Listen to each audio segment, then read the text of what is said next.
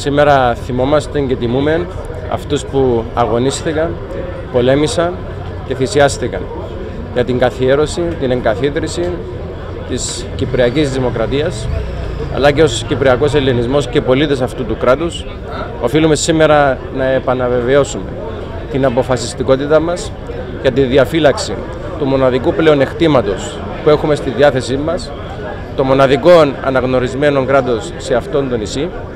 Οφείλουμε να δηλώσουμε πώς θα το προστατεύσουμε, θα το διαφυλάξουμε ως κόρην οφθαλμού, να διαφυλάξουμε αυτήν την ασπίδα προστασίας που λέγεται Κυπριακή Δημοκρατία, καθώς αποτελεί το εφαλτήριο του αγώνα για τη δικαίωση του λαού μας.